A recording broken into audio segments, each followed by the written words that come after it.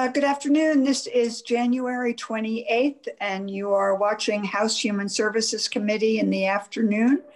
And we are hearing from um, the Department of Children and Families uh, within the Agency of Human Services, um, the Family First Prevention Services Act, both an overview of the legislation and what to date um, the uh, department has um, done in terms of the planning. And with us today, we have the um, Commissioner Sean Brown, Department of Children and Families, and Brenda Gooley, who is the um, Operations Manager. Or I've got your title wrong. I apologize. Um, but she's a very important person because a long time ago she was my student.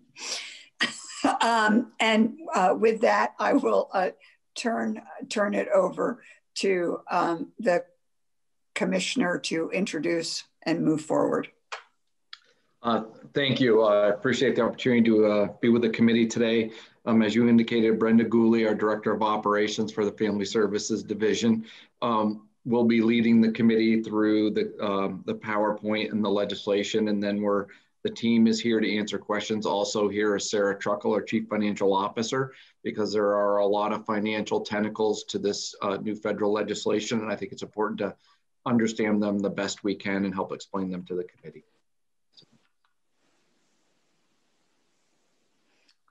Uh, Brenda, please take it away.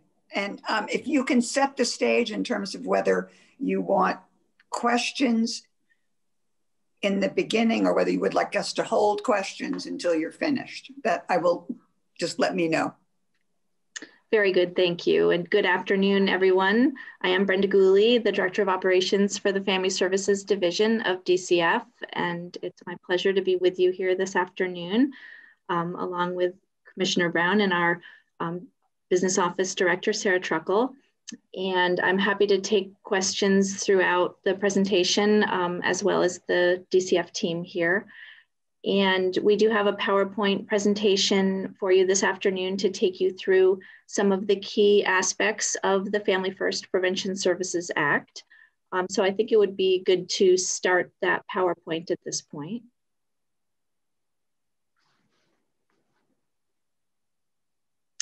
Thank you. And so that's the team. And I think we can move on to the, the first slide that gives a bit of an overview of the legislation. So the Family First Prevention Services Act is federal legislation that was passed in 2018. And it is considered to be one of the most substantial pieces of federal legislation impacting child, welfare across the nation in the past 20 years. Um, and so Family First is about Title IV-E funding, so Title IV-E of the Social Security Act. And Title IV-E is the most substantial funding stream for child welfare work that occurs across the nation. So child welfare work is, um, those dollars go to fund the salaries of family services staff, they fund all of our foster care placements, all of our residential care placements. Um, so when we say it's the most substantial funding stream, we mean specifically for services for children that are in DCF custody. And this law is really about changing how those dollars are drawn down by states.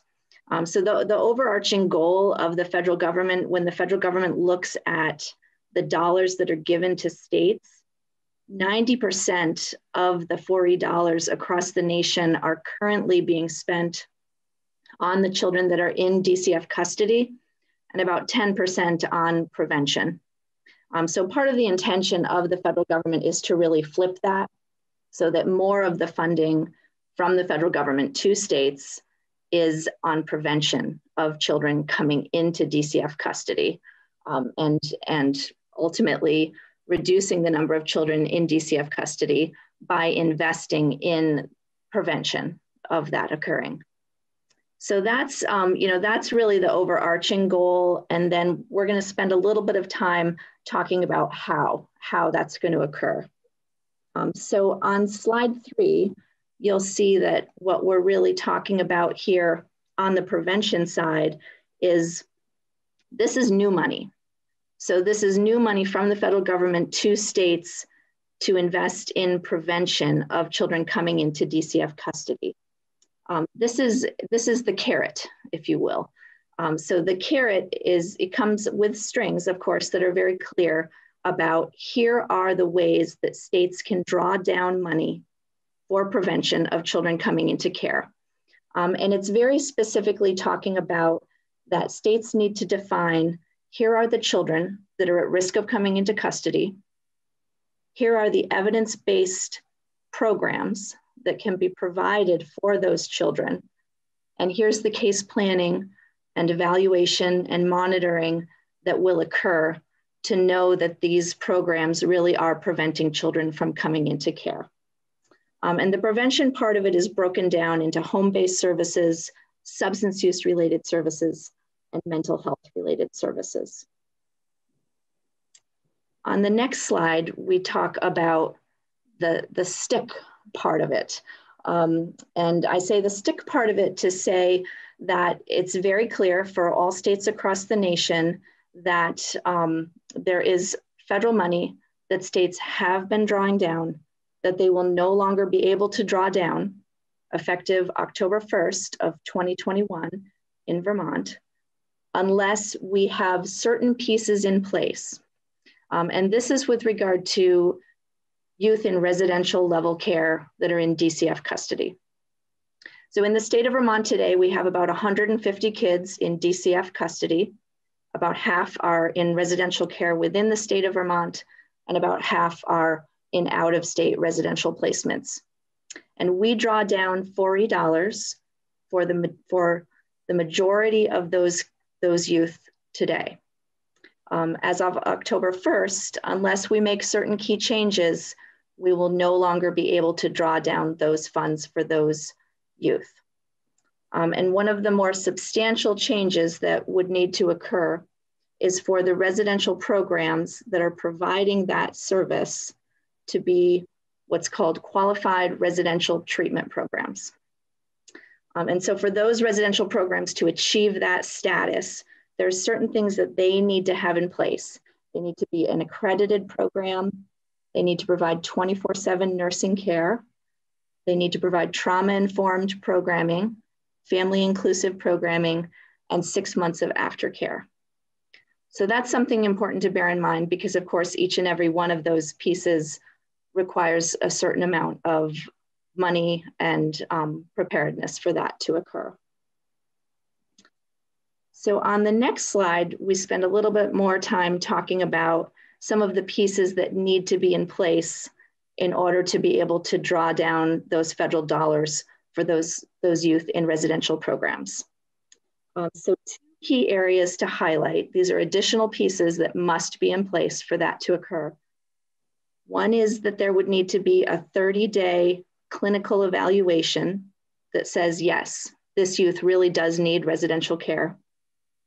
And the other is a judicial review that would take place at the 60 day mark, where the court is reviewing and approving the residential placement.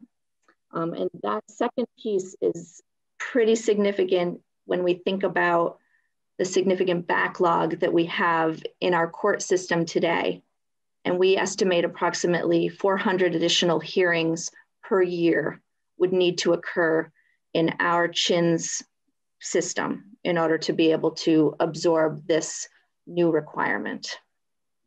Yeah, I would just jump in and, and add that currently we only need judicial approval when we want to place a youth out of state. So this would really impact in-state placements moving forward because we already are required on, under federal compacts to uh, get judicial approval to move kids out of, into programs out of state. So the next slide talks a little bit about some of the readiness work that we need to do. Um, so the first piece is really looking at, so for the, the 12 agencies in Vermont, um, really 35 different uh, programs that we license, what would it take for them to be ready to become qualified residential treatment programs? Um, so our residential licensing and special investigation unit is in the process of conducting that readiness assessment with all of our agency programs. Uh, the other piece of readiness assessment that's occurring is looking at, you know, financially, what would it take for these programs to be able to get to up to speed at this level? Um, and then the third piece of readiness work that we're doing is the development of our prevention plan. Um, so looking, you know, within the state of Vermont, what is the foundation that we already have of prevention programs that could potentially qualify in the eyes of the federal government to be um, Family First Prevention Services prevention programs? Um, what is the population where we're already able to demonstrate these are children and youth at risk of coming into custody? And what level of um, you know, case planning and evaluation and monitoring are we able to put in place by October 1st in order to draw down the 4E prevention dollars as part of our FFPSA prevention plan. And then on slide seven, we continue to talk about some of those operational impacts. Um, so I want to pause here and say that uh, slide seven talks about what, what I consider to be one of our most significant barriers to drawing down any, any of the 4E dollars.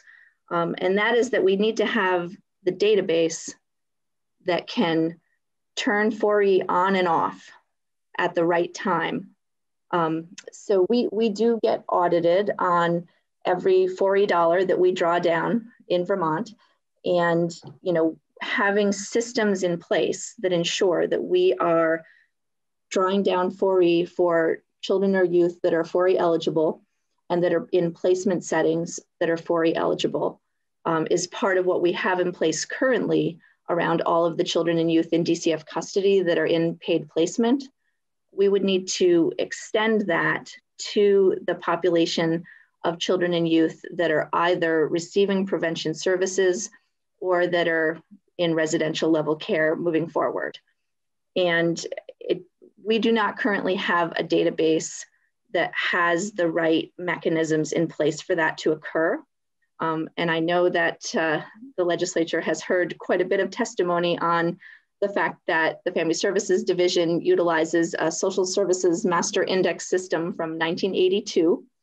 Um, so this is a very old database that um, is not currently capable of drawing down any of the FFPSA dollars that we would need to draw down. Um, so that's a pretty significant uh, barrier that we would need to overcome. Uh, we would also need to get those pieces in place for that 30-day clinical review to occur.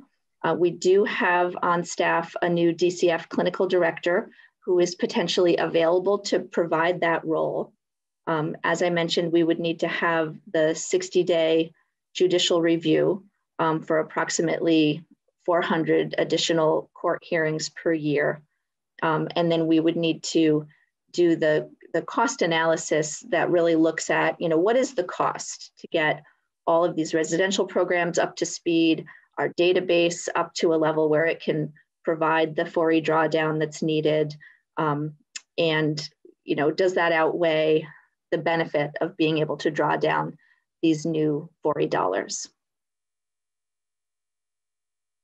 So on the next slide, um, we wanted to just summarize the financial impacts for all of this. Um, so this is really, again, just recapping, we have the database, the internal work that we're needing to do to assess all of this, the provider impacts, right? So knowing within our community of both prevention programs and residential programs, what does it mean for them? To, to get up to speed to provide the level of uh, quality service that is required through the FFPSA. The, um, the judiciary impacts and the cost of that, uh, and then the costs associated with the clinical assessments that need to occur. Um, so, so we have estimated approximately uh, $1.3 million cost for um, I should say loss really on, on the residential side as of October 1st. Um, and, and then we're in the process of estimating the cost to be in compliance of the FFPSA, um, as well as really the mechanisms that would need to be in place in order for that to occur. So that's a lot of information very quickly. And um, I think at this point, we can just pause and um, ask whatever questions you might have about all of this.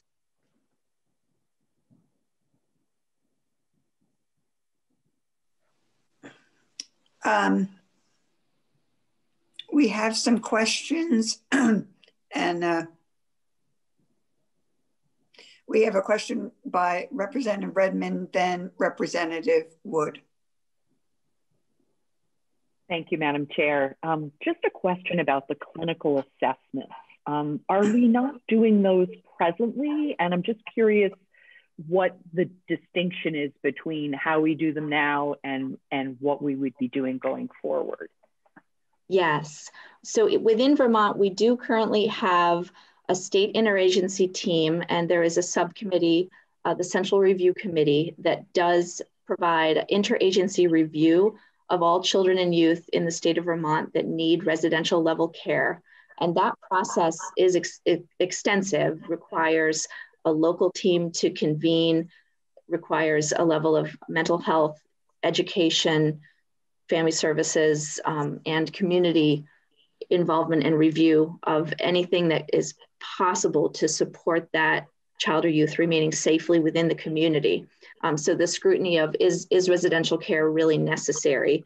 You know, what is the least restrictive environment that a child or youth can be placed in? Um, so we are hopeful that we can build on that. Uh, the federal government requires that the review is done by someone neutral with expertise outside of the child welfare agency.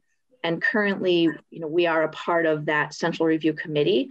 And so we're hoping what, what we are able to do is actually submit a waiver to the federal government to say, here's what we do currently, here's what we could add to it, be within compliance, and hopefully, um, you know, have something that is is acceptable to the Children's Bureau um, and works within the Family Services and, and Vermont system.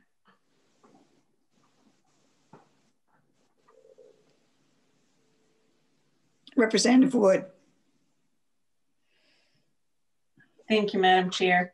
Um, well, that was one of my questions was how, how the, um, we learned earlier about the clinician on staff um, that was, um, had been transferred to the central office. And I was trying to figure out how that would be independent, but uh, you sort of described your process that you're looking at. Um, so um, I'm recalling, this is sort of having to do with the judicial review um, aspect of this and having um, had some experience with requirements for judicial review when we closed Brandon Training School many years ago. Um, familiar somewhat with that, um, just the context of that. And it does indeed take a lot of time and staff resources. And that what I'm recalling is that we did have some money set aside for some CHINS um, improvements, modifications, modernization, dealing with the court system. And I, I'm also recalling that we tapped some of that money last year, but I uh, for a different purpose. But um, can, can you speak a little bit to um, you know where we're at with that? Because there was a whole group looking at how the judiciary um, could more effectively and efficiently um, get through not only the backlog, but now looking at these new requirements. And then I just have one other follow up. Yes, certainly. I mean, I, I, I believe you're referring to the CHINS reform effort. And I would say that the, the work of the CHINS reform effort is very much aligned with the intention behind the Family First Prevention Services Act. Um, that it, that both of both are really about looking at what can we do to ensure that children do not need to come into custody. Uh, you know, basically, if children are able to safely remain in the home, we want them to be able to do that. And so, what can we invest in in our prevention services that can help keep kids safely at home?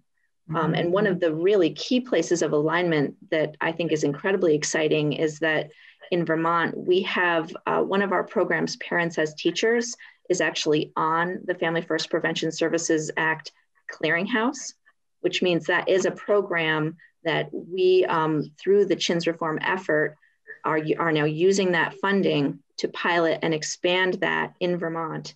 And there will be the, the opportunity through the FFPSA to have federal drawdown for that program for years to come. So that'd be an example of some of the, the great synergy that can happen here. And then I think, and just to jump in here, um, and Brenda, please feel free to fill in the gaps that I'll leave on this, but um, uh, some additional monies were allocated earlier um, and the court used that to create a judicial master role as well. And Brenda, I didn't know if you want to explain kind of where that's at right now. Certainly. In Vermont, judicial master is being piloted in Chittenden County and Franklin County. Hmm. And that is um, one of the one of the ways that potentially we can use that judicial master to look at are there cases that might otherwise get you know take many months to get through the court system? Um, sometimes because of contested hearings sometimes because of a backlog of of cases that need to be heard in the court. And so the judicial master can hear those cases and move them along faster. And so it's it's um, it's an opportunity to really streamline some of the the cases and really ensure that there's a more timely process Thank you. And, and then um, my follow-up was really looking at, um, I appreciate that you're looking at a sort of a cost benefit analysis of what does it take to come into compliance versus what we lose in, in federal resources. Um, and that seems, that would seem to be, you know, part of the picture, but I guess I'm interested in um, both your, your thoughts and the commissioner's thoughts about, you know, when it comes down to children and families, do you believe that um, the the changes that have been made in this federal act are are beneficial for Vermont's children and families. And so there's there's one thing about cost, but then it is really trying to look at the also the, the welfare of families. So so if I could uh, jump in here, thank you for your question, Representative Wood. I think it's a good one. Um, I think if you look at the intent of the federal law and kind of making it harder and that uh, increased level of review when you want to use higher ends of care for children. Um, and then the opportunities that it's really looking at expanding funding opportunities for prevention services. And if you really think about our work, that's what it's about is keeping families together, keeping kids safe and, and reducing, you know, their trauma um, and, you know, of, of whatever they might experience through, through abuse and neglect. But let, let's be honest, there's a trauma of, of, of going through the system as well and coming into custody and going through a, a foster home and whatnot. So um, if you look at the intent of that legislation is really to keep families intact, I think there is a benefit, you, you know, to the legislation that way that is really shifting the focus and, and trying to move states to shift their practice from reactive to, to, to proactive and keeping families together and, and reducing harm to kids and trauma to kids. So from that perspective, I, I think there's a lot of value in that. And I think mm-hmm. that uh, over time that that could really help Vermont's children and families over, over, the long term. I mean, that's what the CHINS Reform Work Group's about. I mean, we've been trying to focus on that, but now this opens up a new pot of funding to actually kind of support that work. Although it does come as you've heard, with some requirements. And, you know, they need to be evidence-based practices. They need to be able to um, uh, uh, collect and, and show that they're reducing kid, those practices and whatever programs we're standing up on the prevention side are reducing kids coming into custody. And so uh, anyone who knows our data systems in the state are, are challenged to begin with. And then also many of our providers are smaller and to, to put those systems in place to kind of capture that data and report that data is a heavy lift.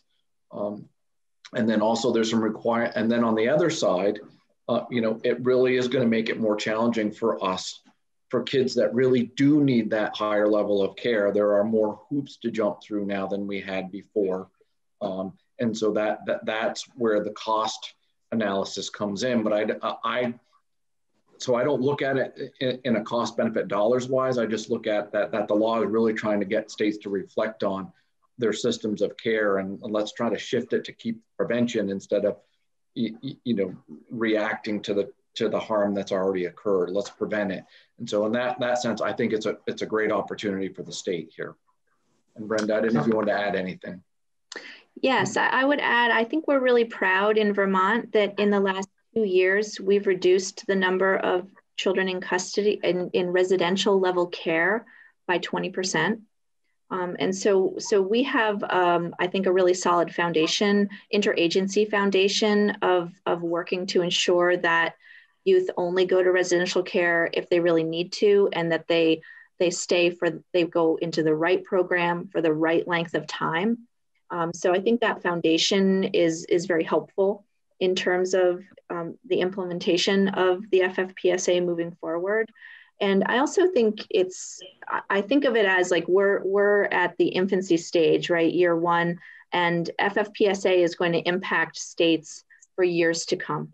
So, what we do today is probably very small compared to five years from now, 10 years from now, how much um, federal monies we're able to draw down because over time we'll be able to, to build up more of our prevention foundation.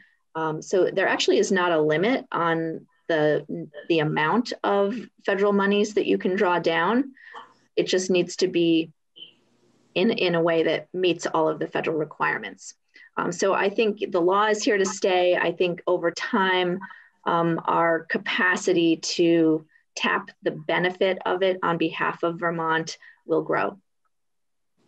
Thank you. I have other questions, but I'll, I'll let other folks have their turn. if, if you if you might just want to um, define what residential care means, because I'm not sure that everybody here would have the same understanding of that. Yes. So residential care, sometimes also referred to as congregate care, uh, typically means a youth being placed in a staffed long-term treatment program, sometimes distinguished from a, a short-term, like a crisis stabilization type setting. Um, so I would distinguish it from, um, you know, a, a, Brattleboro retreat psychiatric stay or um, a group home. Um, so, so programs within Vermont would be Park Street or Howard Center, uh, Beckett. You know, there are, there are programs that have maybe five or 10 youth, um, other programs that may have dozens, um, and you know, out of state, out of region, there are some residential programs that have hundreds of, of youth in their program. But not foster care, correct? Right. I would distinguish it from foster care, which is a family-based setting where it's not staffed. It's it's truly a household. Um, uh, Representative Small, before we go on to your question and um, Representative Brumsted, I want to interject a question or two that at one point was following the um, questions of, of Representative um, Wood. Um, clearly, us being able to implement this plan requires IT and requires judicial investments. Um, I notice on your implementation plan, there is no one, nothing, it does not appear to be anyone from IT, nor does it appear to be anyone from the judiciary. So um, uh, I'm curious as to how this is going to happen in a vacuum. So if I could jump in here, thank you. Um, you know, as you as you heard earlier, uh, this uh, legislation passed in 2018 and gave states several years um, to implement. Uh, and know, we chose not to implement. Early. We took a bye for two years, and so we lost the ability during those two years to use the the um and and the law was hard. I mean, they, yeah, I was just going to say, I think it took us a while to understand it's a complicated piece of legislation, an expansive piece of legislation. So just kind of understanding, getting an understanding takes time. Um, and then I and and I think as you do those calculate, started that understanding, we recognized there were some cost benefit analysis and that there were going to be um, costs to the state in terms of, you know, to, to implement this and the impact on our providers could be quite large. Um, and, and, and, so as we move forward, forward yep. where who is on this implementation team that will enable us to implement it? Yes. So if, if I could, I, I, think our implementation was waylaid by the pandemic and, and our needing to pivot to, to respond um, to the demands of the pandemic. And I think um, we are now reshifting our focus and we've created a project team within the department that is pulling resources uh, from our business application support unit, uh, our, our, our top line project manager. We are engaging with IT to understand whether we can make fixes to our current uh, child welfare information system um, to, to capture that data, or are we going to need to build a new one? As you know, there's been a there's been conversations across the department um, that all of our IT systems are in right, a right. dire need, and so I think it's just up to now been a prioritization. You know, IE&E is trying to uh, fix the benefit program uh, problems with the access system. Uh, you know, we are moving forward now uh, with uh, a new uh, BFIS system, uh, you know, for the childcare system that is literally falling apart before our eyes and taking an incredible amount of workarounds. Um, while the CWIS system is ancient, it, it, it, it's working, but we certainly need to either make some enhancements so that we can capture the data and put the pieces in place to track the federal funding and when we can when we can avail ourselves of it and when we cannot. We really need to be able to do that very closely. So um, commissioner thank you. um, yes. we're not i'm not criticizing. No no I no i'm just I, am just uh, trying to put, put the no, context I, I, and i yes. i was just asking who was on the um, team. And i was looking at the slide slide yes. nine and so to um, to try to remove the you know uh, feeling that you need to be explaining the last mm-hmm. bullet says a work plan has been developed so if you would share that work plan with us um, that would be very helpful sure. and yes. then and, we and, can then we will ask more questions. So um, my apologies for misunderstanding your question. Brenda, if you'd want to share you know, those, if, kind of dig dig into the work plan, that'd be helpful. Because then we can ask the questions like who was on it? And um, why aren't they? And where are the um, for instance where are families? Where are providers? Where are they on? And they may be all there. And so if you share with us the work plan um, that would be very helpful now uh, i'd be happy to and I, I think what you'll see is that there are so there is the work plan and within that are the subcommittees that will be forming. So, so the broader work that you're describing has not occurred yet, but it is part of the work plan. Um, and I do just, yeah, I, I do just want to clarify one thing, which is um, just so folks understand, when the law went into effect, uh, states were not given the option of um, accessing the prevention part and not the residential part. So if we were to try to draw down 4E monies sooner, we would also immediately be penalized. Um, so we would have immediately lost the $1.3 million a year. Um, so okay. in my mind, that was the main driver for why we did not um, move forward in 2018. There's like, trying to set context. We have lots of questions from other people. So um, uh, Representative Small and then Representative Brumsted. Thank you, Madam Chair. Um, I hope this one is an easy one. Um, looking at the judicial review, what is the purpose of the judicial review? The purpose is the approval of the placement. So it's really just, um, you know, wanting, it's checks and balances in the system. So beyond the child welfare, child placing agency having a judicial approval, is residential placement really necessary? May I ask the question in a different way? Is judicial um, review required by the federal, um, by in general federal legislation as it relates to um, child abuse and neglect, or is judicial review required by this law, or is it required by um, state law or organizational policy? a, little bit of both in different areas. It depends on the decision point along the way. So if the decision about should this child come into DCF custody, certainly uh, judicial review required, both state and federal legislation requiring that. With regard to the FFPSA, that specifically requires judicial review for the purposes of placement in residential level care, which is new. Um, some states have always required that. Um, Vermont has not. Vermont has had the um, authority with for purposes of placement with the custodian. Um, the exception being out of state residential, which is part of interstate compact law, that for a state to place a child or youth in an out of state residential program, that has required judicial review. Um, and that's a national requirement that Vermont then, of course, complies with. Thank you. Uh, Representative Small, I interrupted your questions. Do you have more? All of the other ones were asked in the process. Thank you, Madam Chair.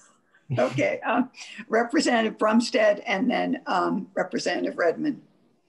Thank you, Madam Chair. And most of my questions were asked by you, so thank you. I, um, I was curious about that two year, why wait two years? So thank you for responding to that. And my question, I, I guess, in my um, experience, when the federal government asks us to change a program, as in as big of a change as it sounds like this is, they do give some planning dollars to um, move forward and bring together the right stakeholders and do all those sort of things. So, when you decided to wait two years, does that mean that the planning had to wait too? And so there hasn't been any funds to the state um, for those two years or? No. So Vermont did receive $900,000 in FFPSA transition funds. Uh, we have started to spend those funds. One of the first things that we did was invest in a public consulting group providing an analysis of our system of care and uh, recommended improvements to the system. Um, we have also used those funds to invest in a team um, to come together to do some of the business analysis uh, of FFPSA implementation. Um, and then we have funding that's been spent with regard to kin navigation. We haven't talked too much about kin navigation here, but FFPSA, a pretty significant component of it is working with extended family and really ensuring that states are making every effort to engage extended family and to support them in preventing children from coming into care. And then also, once they are in care, being an active part of the care of those children and youth. Um, so there's there's a variety of investments. Can you that. just remind me on the acronyms what they stand for, just to be sure I'm thinking the right FN? What was? So it's uh, FFPSA is the Family First Prevention Services Act. Okay, I just want to thank you. So, uh, uh, Brenda, you will kill um, uh, more things that now you can send you talked about how you used the um, prevention um, planning dollars. And the first thing you said is you, the department, sorry, I shouldn't ask you, um, Commissioner. um, uh, the first part they were used for was an analysis or an evaluation of our system and some suggestions. We'd love to see that, please. A absolutely. I think we just received the final report on that. And so we're happy to share that with the committee and maybe even come in and give a review of that and the data contained in that report, just provide some additional context and, and background. That would be great. Um, and if we could have it before we schedule you, um, that can be assigned homework. Yes. Um, Representative Brumsted, did you have any additional questions? Okay. Representative Redmond.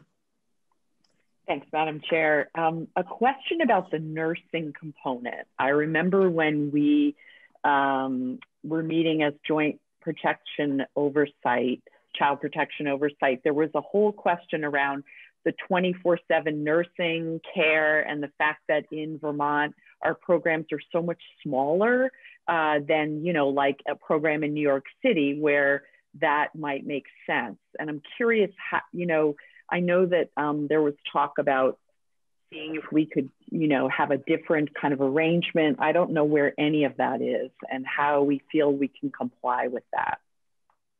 Yes, and, and Vermont does participate in a national collaborative that so we're able to see how are other states managing this and there's a lot of energy for rural states small rural states and the solutions that they're coming coming up with in that regard.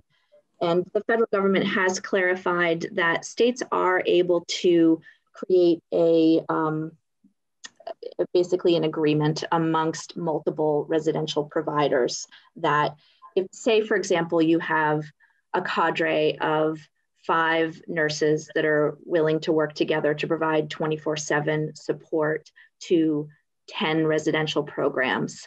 Um, it, something like that is potentially acceptable. So, we, so the requirement is that the nursing staff is available. It is not required that they are physically on site in the residential program.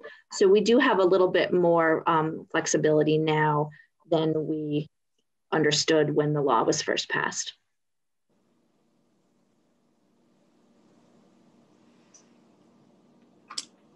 Uh, did that answer your um, question, Reverend?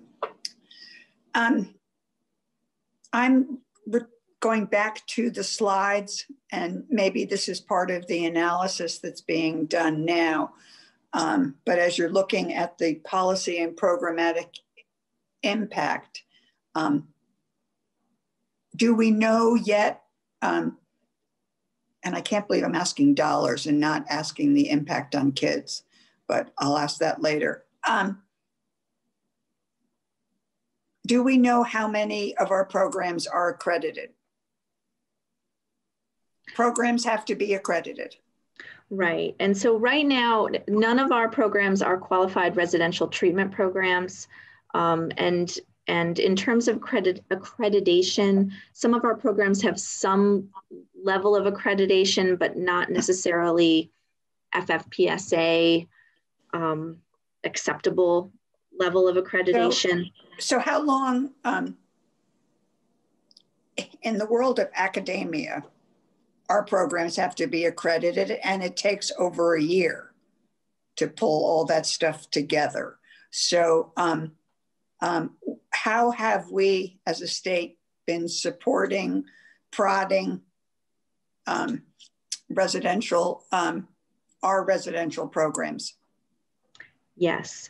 Uh, so our residential licensing and special investigation unit has met with all of the residential programs in the state of Vermont to review with them the qualified residential treatment program requirements, including accreditation, nursing, aftercare, all components, and conducted a readiness assessment that looks at here's what you would need, what would it take financially for you to invest in moving in this direction. Larger programs like Becket are well on their way in moving in that direction. Other smaller programs are not necessarily concluding that they're able to move in that direction. Okay. Um, we, we do have um, a document that RLSI is in the process of writing. It's not written yet. It's not, I don't have it yet. Um, RSI?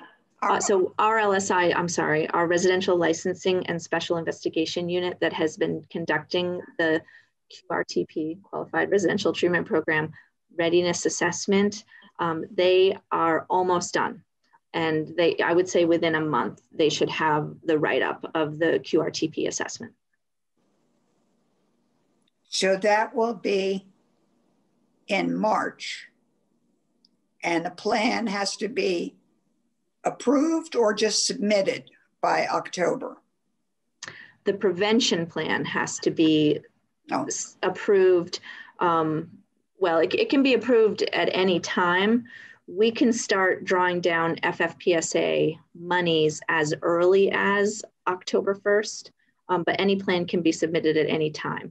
We will no longer be able to draw down $40 for youth placed in residential programs as of October 1st, unless we're in compliance with all the pieces that I've outlined here. So how, um, this may be a question, uh, Commissioner, but sorry, Brenda, I'm not sure. Um, um, it may be a question for Sarah Truckle. Um, what do we spend? How many 4E dollars? How much 4E dollars are going right now currently to residential treatment? Um, I can get you the exact amount that goes breaks out between in-state and out-of-state, but they're not all 4E dollars. What we've estimated for FY22, which you see in the governor's proposed budget, is a decrease in 4E revenue of somewhere around $1.3 million. And we are backfilling that with general fund in anticipation of the loss of those federal funds at this point. Okay, so so to to to put that perhaps bluntly, you are planning, the budget assumes that we're not going, that we are going to be, that we're not going to make the October deadline, federal deadline.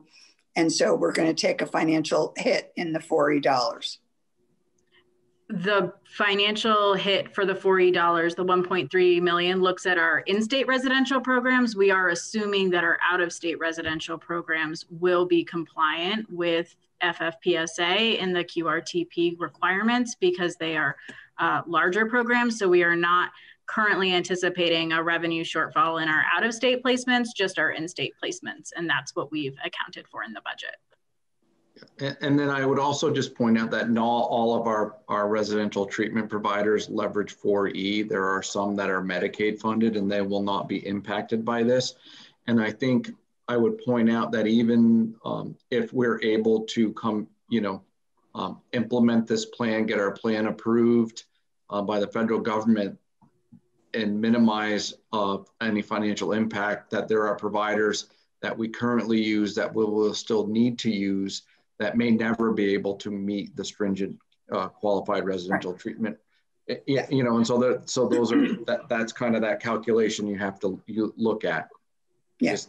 Yeah. yeah, because if I mean, if I remember back two years ago when we first started talking, to be a qualified residential center, uh, for the most part, doesn't really reflect the way that the bulk of our resident, many of our residential centers um, worked. Um, and that perhaps they were more directed towards the larger residential treatment centers. So that was one of the um, one of the challenges. Okay. Um,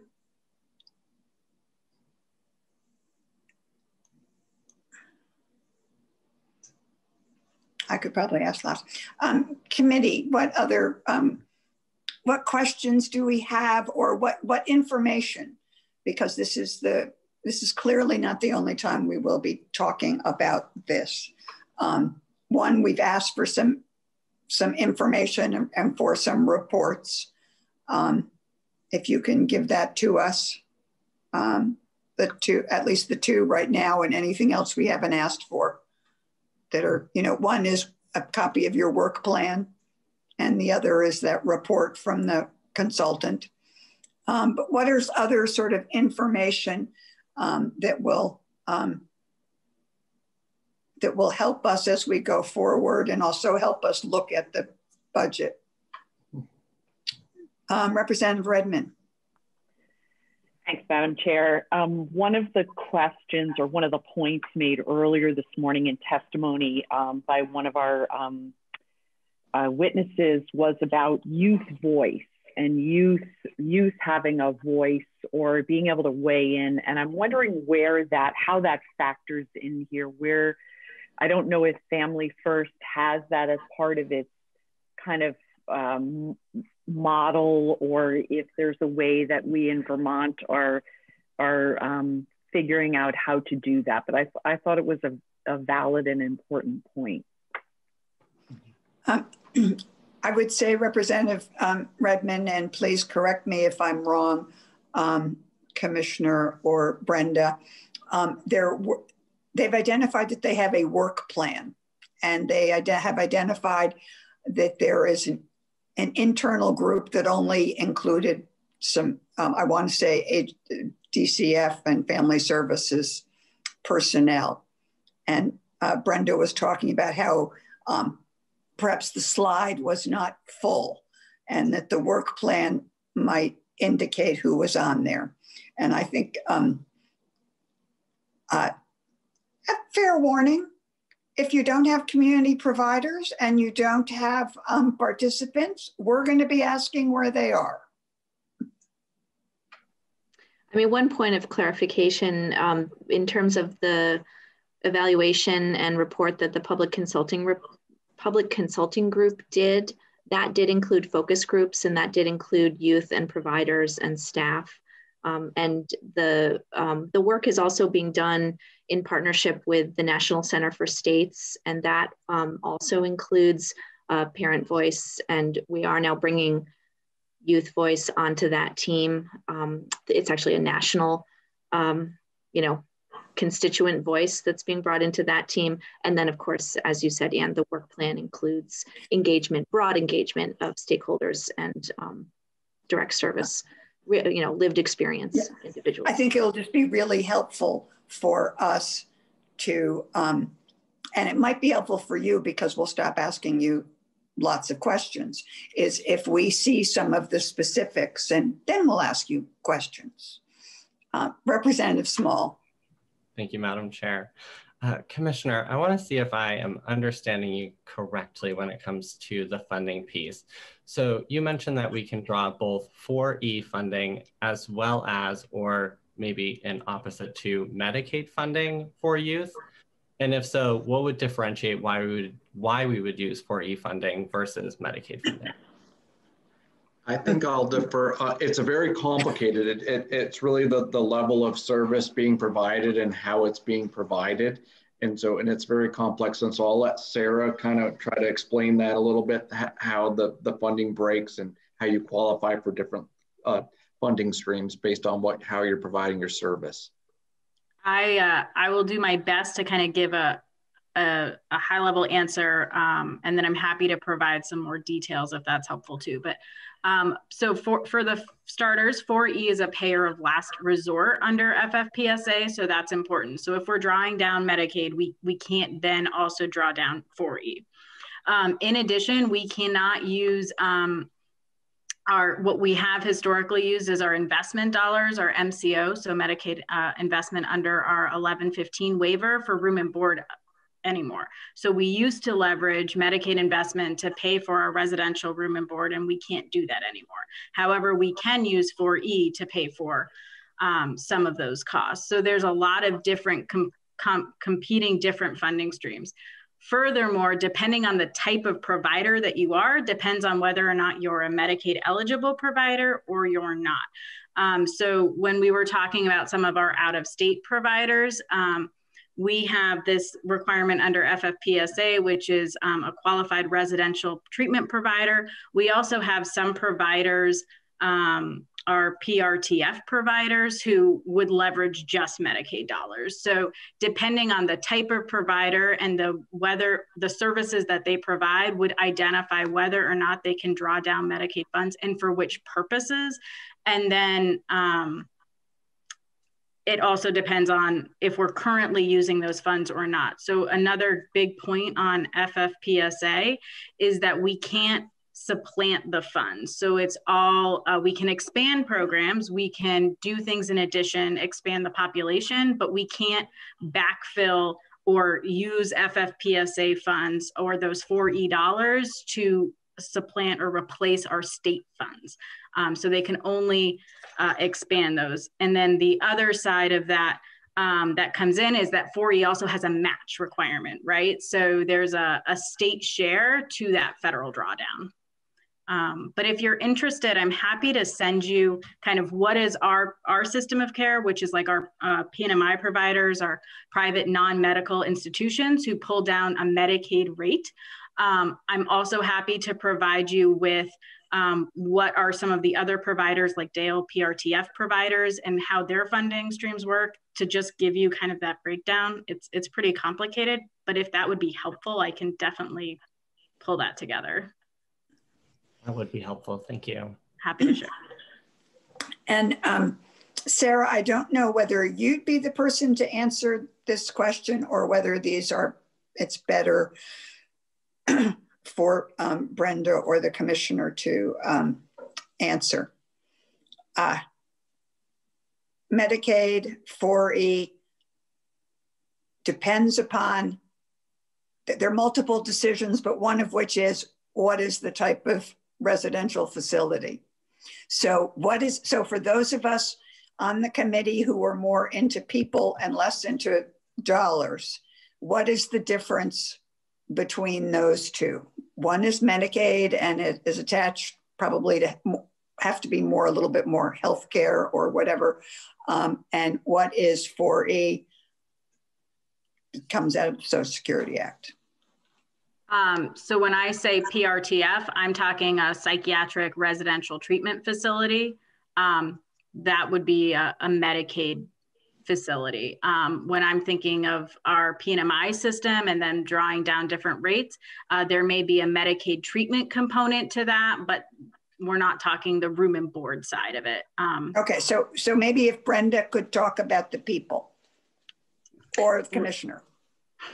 Yes, I mean, I would say when you think about if the 12 or so residential programs within Vermont, the majority of those are um, what we're talking about here in terms of becoming QRTP. Um, whereas a program like Brattleboro Retreat, right, that's that's a psychiatric facility. Um, so we we don't have a psychiatric residential treatment program um, other than the Brattleboro Retreat in Vermont that we're using for placement of youth um, within the state, but we certainly do place youth out of state in in those programs. Um, so, okay, so, but, so, but so what's a 4E, you know, what's what, give an example of a, um, a program that is funded using 4E dollars. The, you said that some of this, some, some, of, some of the resident, the, the the comment was that not all of our residential programs are funded. Um, okay, so um, Park Street, for example. So Howard Center, um, which is part of um, Chittenden County Designated Mental Health Agency, has a program called Park Street that provides uh, residential care for youth with uh, sexually harmful behaviors that is for, we currently draw down 4E for all of the youth in DCF custody placed in that residential program.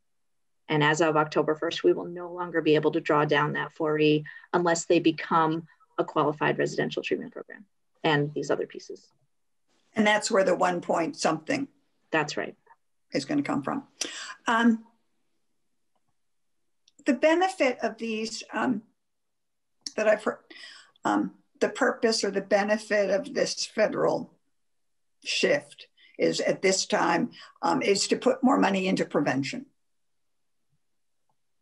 Whatever, and if I recall, um, what is prevention um, is something that individual states define, how they will define prevention, whether it is primary prevention or whether it is preventing to come into placement is that I, I please correct me if my rec, rec if I it, for the for the purposes of the Family First Prevention Services Act, it is specific to tertiary prevention, meaning okay. they are talking about preventing children or youth from coming into DCF custody.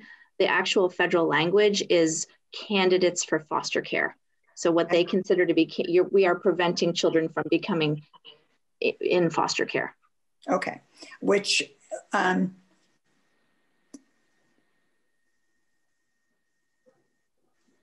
our, our local district offices have different, you know, they have the they have the um, social, the case managers work with kids who are in custody um, and in um, and some of those kids in custody are still living at home and some are at this are are not. I mean and so, some are sort of protective service. I forget what you call those. Right. We have a population of of cases where we actually have what we call family support caseload family support. which is children and youth that are in a household that has that has been assessed to be high or very high risk of child abuse or neglect occurring again in that home Um, and, and you're exactly right, Anne. that is the target population. Okay. So when we submit our FFPSA prevention plan, we will be saying the families that are on the family support caseload are what we consider to be candidates for foster care, as evidenced by our structured decision making tool that demonstrates that they're high risk.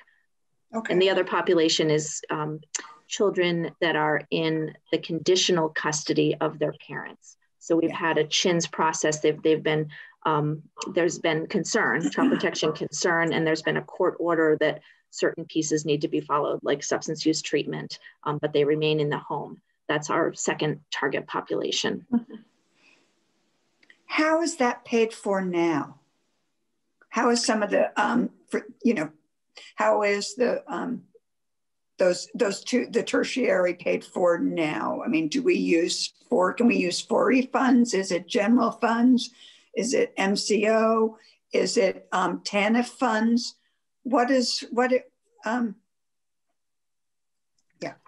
So, and Sarah can certainly help me out here, but we do draw down some 4E funds for our employees' salaries. Um, so we do we do look at what is the work that the family services workers are doing, and we're able to draw down 4E for some of that work.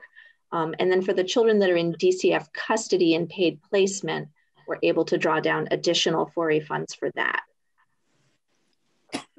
yeah, so, so for the, oh, for the ahead. family support cases for the staff that support that caseload, the majority of their salary is pulling from general fund, but there is some cost allocation to other sources.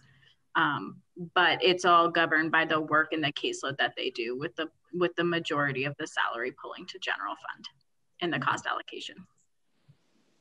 Okay, so so um, and sorry, it's on my mind.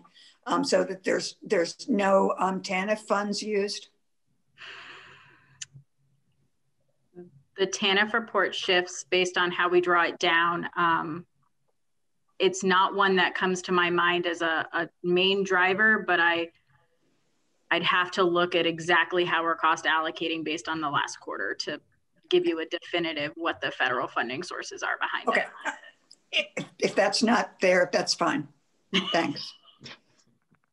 I'll ask it another day. Well, we can certainly get that for you into in, in the committee because you know, it is complicated and, it, and it's ever changing, you know, based on the cases and the work of the staff. So. Okay. We are actually in the process of running, finalizing our reports right now. So if you, you'd like, I'm happy to share them with you once they're finalized of what that breakout looks like for this quarter. Uh, thank you. Um, as we, whether it's to the committee as a whole or whether it's to the, um, what I call the work group, which will be looking at um, that part of the budget, we will do that. Um, but I realized as we were talking, and I should know better, um, uh, chins. What is chins? I mean, I know what it is, but I mean, we are using, um, you know, we're using a lot of uh, an ac ac acronyms, and whatever. I, I can't. I, I apologize for my acronyms. Um, so CHIN stands for Child in Need of Care and Supervision. So that's the language in state statute that governs when a child comes into well, comes to the attention of the court as a child in need of care and supervision, and it's through that process that a child would potentially be ordered into the custody of the commissioner of the department. Um, committee, um, given this sort of initiative that we as a legislature need to be sort of um, paying attention to, um, as well as um, some legislation that the department would like us to, to look at. Um, we probably need a, um, a quick, not today, and um, whether, whether it is from you all, Commissioner, or whether we have Ledge Council, probably a review of um, the child protection process um, and that might be helpful to all of us in terms of moving forward. Uh, Commissioner, I have let the committee know that I will be introducing a bill on behalf of the department around the registry review. Um, and, uh, you know, there may be, um, uh, and, and many of us on the, uh, uh, on the committee is, are, will be introducing a bill related to the child advocate. Um, uh, we have this, um, um, the importance, um, I guess, uh, given the fact that we're a little behind the time, little behind, lots of good reasons, but we're a little behind um, um, in terms of moving forward in terms of the Family First Prevention Act. I think it will, for us to do our due diligence, we're going to keep asking you to come in and asking questions so that um, uh, to help you move forward. Yes, I, I'm, I'm happy to spend more time with the committee and provide whatever information you deem useful. Absolutely. And we can have Brenda's team come in and give an overview of, of the child protection system because it is complicated. Um, let me, um, if do uh, Commissioner, do you or um, any of your staff have a want to leave us with a final comment? I do not see any more questions. Yeah, I want to just thank the committee uh, for your time today. Um, you know, we are going to approach the implementation of this very thoughtfully with, um, you, you, know, what's going to be best for Vermont's families and kids. Um, in, you know, in terms of the programs we develop and the services we provide and are able to enhance or leverage with this funding. You know, the financial piece is the financial piece and we will figure that out. But at the end of the day, you know, this, you know, the intent of this is to really uh, put a focus on prevention. And I think that's what's going to be in the best interest of Vermont families and kids is, is prevention. And, you know, that's our goal here is to implement this with, the, with that first and foremost in our mind um, is how do we best serve Vermont's kids to make sure they're safe and are able to stay in with their with their biological parents in their home. Oh, well, thank you. Thank you very much. Um, and uh, committee, do you have um, any further question of the commissioner? Um, we do have one. Thank you. I don't mean to, I don't mean to sound so surprised. I'm yeah, sorry. no, thank you, Madam uh, Representative. Uh, Representative. I, am ready to ask my question. Uh, um, as far as, um, and thank you, uh, Commissioner and Brenda and Sarah, so much for uh, presenting. Uh, I'm definitely learning a lot, so thank you.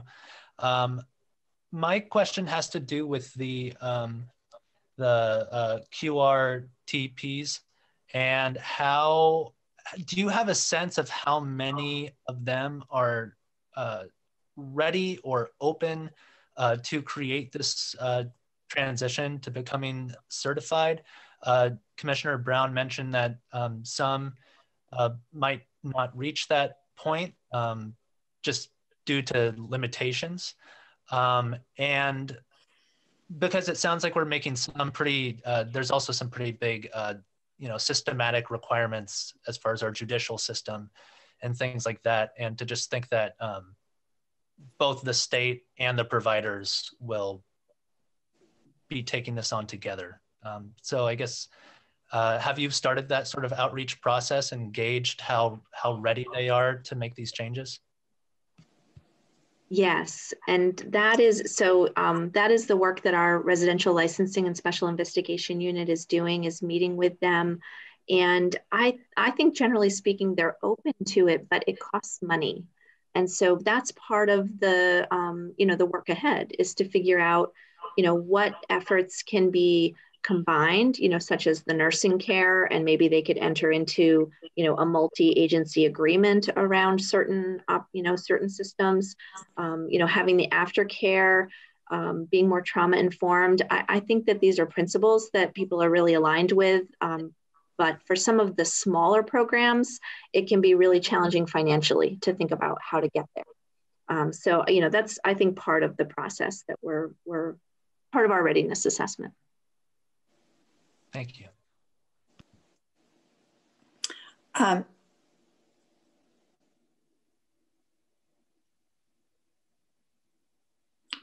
Rev, uh, Representative Wood.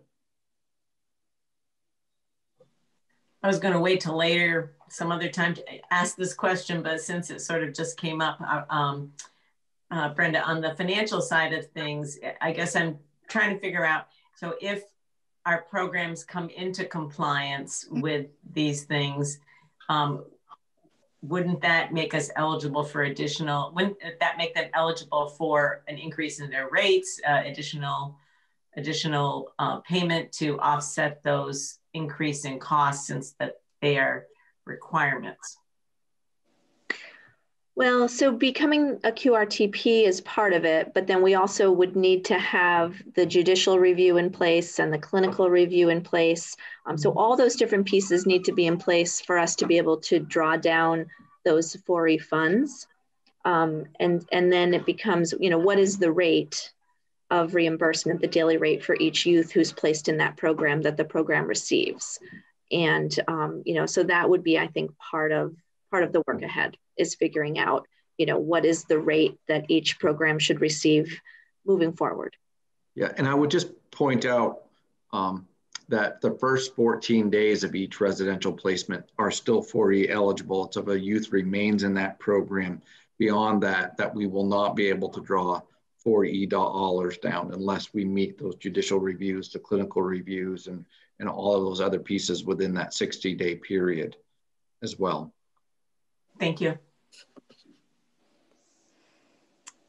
Representative McFaun. Thank you, Madam Chair. Um, my question is, is the New Hampshire company that we're using now a qualified residential treatment program?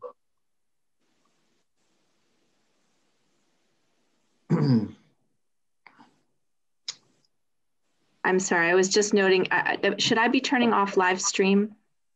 No. No. Okay. No. we're still, we're still. Okay, we, I apologize. Are still, um, I'm, um, I, am getting um, consultation. Yeah.